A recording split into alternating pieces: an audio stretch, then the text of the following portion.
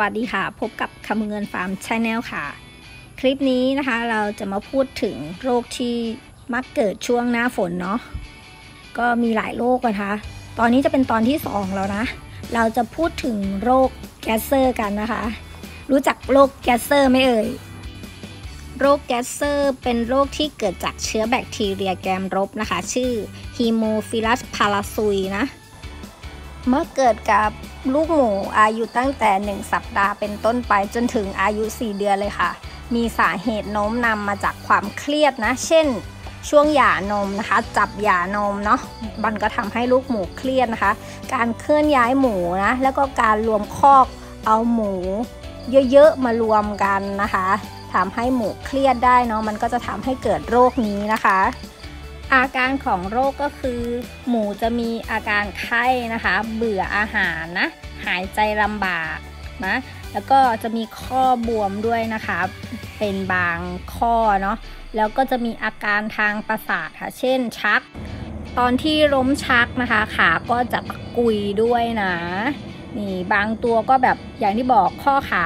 อักเสบบวมแดงนะคะทำให้เดินขากระเพกได้นะ ผ่าซากดูก็จะพบ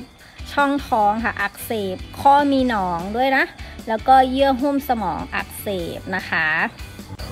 การติดต่อของโรคก็คือผ่านทางการหายใจนะคะ แล้วก็การสัมผัสโดยตรงนะเนื่องจากโรคนี้เป็นโรคที่เกิดจากเชื้อแบคทีเรียนะคะ จึงสามารถรักษา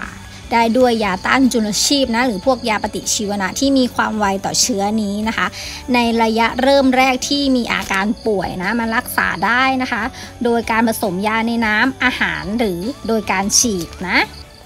ยาที่ใช้ในการรักษาก็จะเป็นยาในกลุ่มของยาเพนิซิลีนนะคะ เช่น amoxy Pendistrep นะ หรือพวกยาเตตาไซคลีนนะคะ หรือ enrofloxacin นะ แล้วก็ยา sulfa trimethoprim นะคะ ก็รักษาได้นะ แล้วก็ tiamulin นะคะ รักษาได้เหมือนกันนะ ปกติที่ฟาร์มค่ะ เราจะใช้ยาผสมอาหารให้กับลูกหมูช่วงหย่านมนะคะ คือยาตัวนี้นะนี่ จะเป็นยาออกตามิกนะคะ ชื่อมันนะ เป็นยาอะม็อกซี่ผสมกับโคลิสตินค่ะ ช่วยป้องกันและรักษาโรคที่เกิดทางระบบทางเดินหายใจ แล้วก็ทางเดินอาหารได้ด้วยนะคะ เราจะผสมในน้ำหรืออาหารให้กับลูกหมูตั้งแต่หย่านมขึ้นไปนะคะ จนถึงช่วง 8 สัปดาห์ค่ะ นี่ยาตัวนี้ดีนะคะ เราใช้อยู่เป็นประจำค่ะ ในฟาร์มของเราถึงไม่ค่อยเกิดโรคนี้นะคะ ไม่เคยเกิดเลยแหละบอกตามตรงนะ การป้องกันโรคนี้ก็ทำได้นะคะ โดยการเน้นการจัดการที่ดีในโรงเรือน โรงคลอด โรงอนุบาลนะคะ ไม่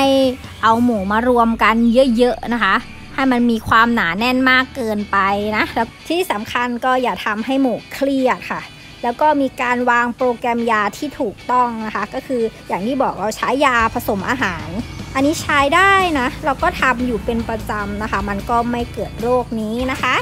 ฝากไว้ด้วยสำหรับโรค Glasser นะคะ อย่าลืมกดติดตามช่องคำภูเงินฟาร์ม channel บนช่อง YouTube และคำภูเงินฟาร์มเพจบน Facebook ด้วยนะคะ สวัสดีค่ะ